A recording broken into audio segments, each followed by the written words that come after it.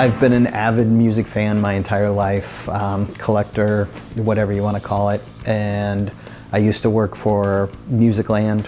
I ran a On Cue slash Sam Goody store for 11 years. Um, so I did the corporate music thing. I, I left Musicland when they went under, so I ended up working for Staples.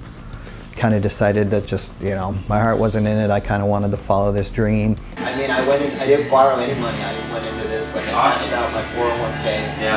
when I left Staples and like used a lot of that to kind of start it and I just it was, it's truly a labor of love you know I really I, my favorite line to tell people is it makes me happy it doesn't make me rich There you you go. know and like I just I, I'm kind of amazed that you know we're in our fifth year you know I think it's pretty awesome it doesn't I'm here every day and it doesn't feel like I've been here that long which I guess is saying something you know alone Wooster is like kind of known for its cool little downtown area. There's a lot of unique shops downtown.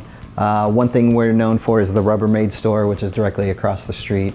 We have the City Square Steakhouse, which is also, it was named one of the 100 best steakhouses in the country. So Most shop owners have their own music collection. Mm-hmm. Uh, can you tell me a little bit about your collection and what kind of music you like to curate for it? Like, what are some of your uh, gems that you might have in your collection that you've obtained over the years? Um, well, I, I'm- I'm kind of all over the place. I, I guess primarily I'm like an early alternative.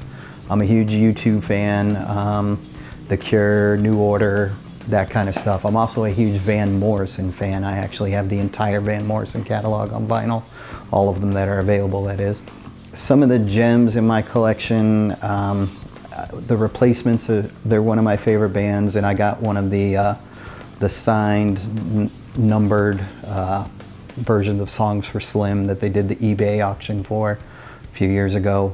Um, they only made 250 of them, and so I was able to get one of those, and all the proceeds went to Slim Dunlap.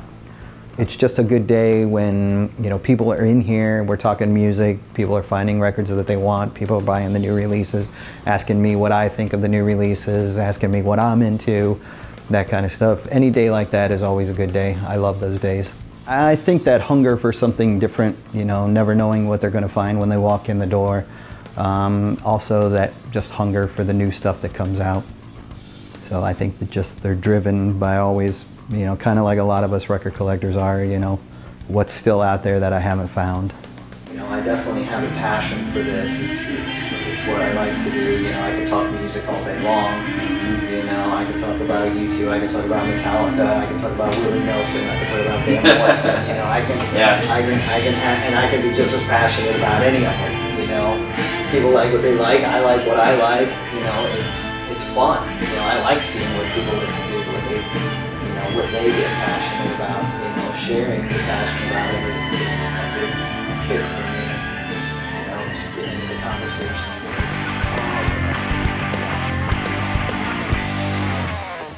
Like if you took my dad, who's like 72 years old, and said, "Hey, Dad, listen to this this cassette." And on one side I had Nickelback, and on one side I had the Foo Fighters. My dad might not have an easy time telling who was who. right, right. You know what I'm saying? Yep. Yet one is like the elder statesman of rock, and the other one's the laughing stock. Interesting. You know how you go through the record fair, people have stuff overpriced and underpriced, and uh-huh. I'm looking through CDs, dollar, dollar, two dollars, and I had a Nickelback CD in there, and it was twenty-five dollars. I grabbed it up. I looked.